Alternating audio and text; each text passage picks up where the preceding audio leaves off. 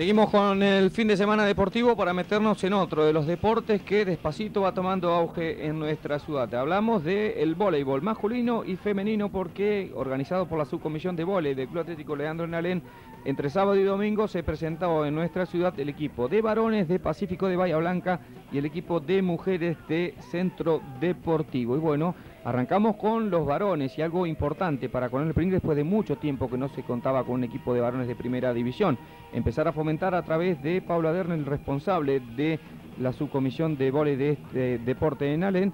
comenzar con los varones y poder llegar a competir el año que viene en otros niveles con este equipo de Coronel Pringles que realmente trabajó muy bien durante el año y que por ahí tendrá la posibilidad de jugar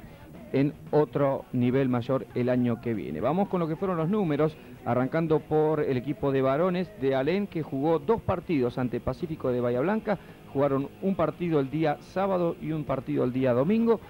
El día sábado ganó el equipo de Pacífico de Bahía Blanca por tres sets contra dos en un muy buen partido de voleibol. Perdieron por break el último set los varones del equipo de Leandro Benialem. Y en el segundo de los partidos también fue triunfo para los de Pacífico de Bahía Blanca. Tres sets a dos con el último tiebreak en parcial de 20 a 18. Un muy, un muy buen examen para la gente de Alén que se está preparando con un volei de muy buen nivel que tuvimos la posibilidad de ver este fin de semana entre sábado y domingo a consecuencia de esta visita del equipo de Pacífico y del Centro Deportivo que visitó nuestra ciudad y jugaron contra los equipos del Club Atlético Leandro Benaren. En varones, en primera división, donde realmente se obtuvieron buenos pasajes de muy buen voleibol y que despacio la gente está trabajando muy bien, la gente de Allen, para poder incorporar este deporte en varones que tanta falta nos hace aquí en nuestra ciudad. Fue triunfo entonces 3-2 en el primer partido de varones Allen ante Pacífico y también fue triunfo, eh, triunfo por 3 a 2 en un duro tiebreak 20 a 18 el domingo en cancha de Allen. Pero no solamente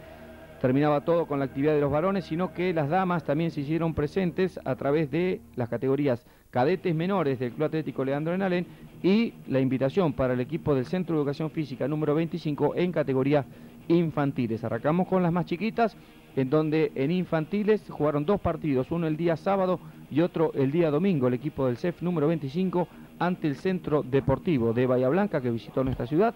En el primer partido del día sábado ganó el equipo pringlense del CEF número 25 por dos sets contra uno con estos parciales 15-8, 5-15 y 15-10 para terminar la actividad el día eh, domingo donde el triunfo de las pringlenses en este caso fue dos sets contra cero con estos parciales 15-6 y 16-14 fue triunfo entonces en los dos partidos